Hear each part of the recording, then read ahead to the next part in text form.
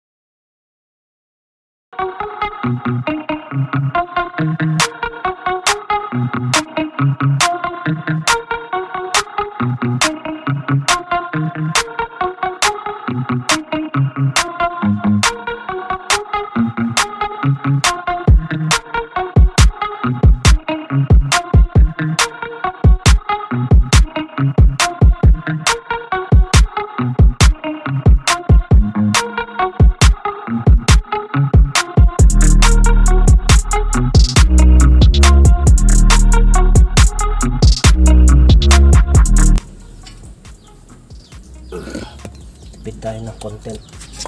Tapos na yan. So, ganun lang. Magpalit ng ating tinatawag na brake pad. No? Ah, isang tornilyo lang ang alisin natin dito mga kadyak. Ito lang. Kaso lang pagbago yung ating brake pad, kailangan nyo itulak yung piston. No? At kung meron kayong yung vice grip na yung parang letter C, C-clip, no? mas, mag, mas madali yun, naputol kasi sa akin eh. Pero kaya na maitulak. So ganun lang mga kajak, palit ng ating brake pad. So nawa na gusto nyo muli, ah, pagpapalit natin ng brake pad. Ah, God bless you po.